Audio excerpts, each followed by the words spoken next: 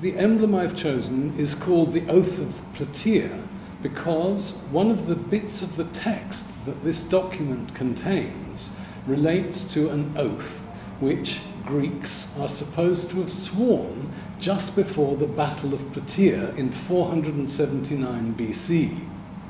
So, in the first part, the first aim of my book is to explain to readers what the document is and it is, in fact, a very nice piece of marble, and it's dedicated by a priest, priest of the god of war, Ares, and it's dedicated to Ares, and it contains not just the oath of Plataea, but another oath, the oath sworn by young Athenian men when they were doing their national service. But the oath that I'm concerned with purports to be what the Greeks and especially the Athenians swore just before this major battle, the decisive battle against the Persians in 479 BC.